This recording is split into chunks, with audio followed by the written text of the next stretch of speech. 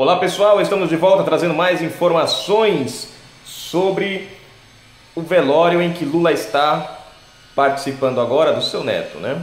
Bom, gente, hoje é dia 2 de março de 2019. Se inscreve no canal, aperta aí o sininho das notificações daquele joia bacana, compartilha, comenta, ajuda a gente aí, né? A gente precisa muito do apoio de vocês. Bom, Lula tem apenas uma hora e 30 minutos para estar com a família. Esse foi o combinado na PF. Vamos à matéria. Lula participou de negociações por saída e terá uma hora e 30 minutos com a família em velório. A data da matéria, dia 2 de março de 2019.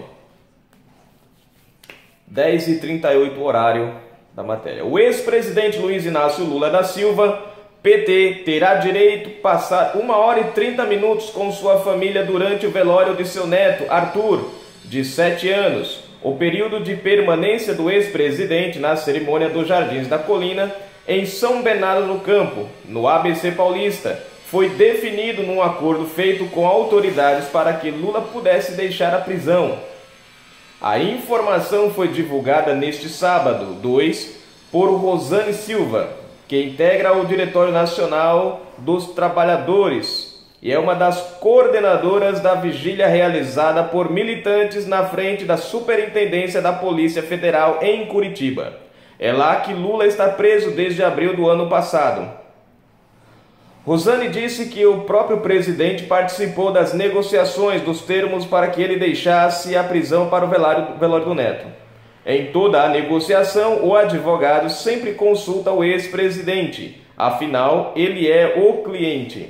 Então, o presidente Lula, a presidente do PT, Gleisi Hoffmann, participaram, disse ela. Disse ela, o período da visita foi parte da negociação. Como ele tinha direito de ficar uma hora e 30 minutos com o filho, isso também foi avaliado. Segundo Rosânia, por conta da duração da visita de Lula à família, não está garantida a presença dele na cremação de Arthur. A cerimônia está marcada para as 12 horas. Este é exatamente o horário em que Lula terá que deixar São Bernardo do Campo e iniciar sua viagem de volta a Curitiba. Rosane disse também: Lula está muito triste. Advogados que estiveram com o ex-presidente assim como a deputada federal Gleisi Hoffmann, disseram que ele chorou muito após receber a notícia do falecimento do neto.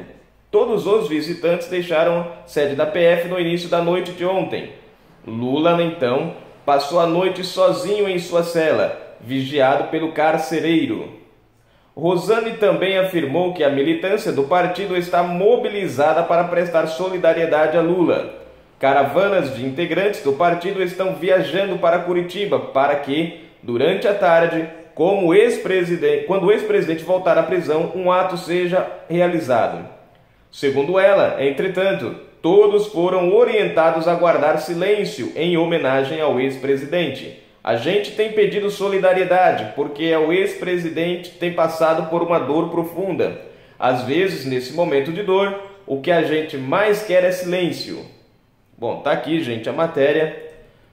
Uh, Ex-presidente Lula participou das negociações, tem uma hora e 30 minutos. Provavelmente não poderá ficar, a não ser que seja feita uma concessão no horário para a cremação do neto, né?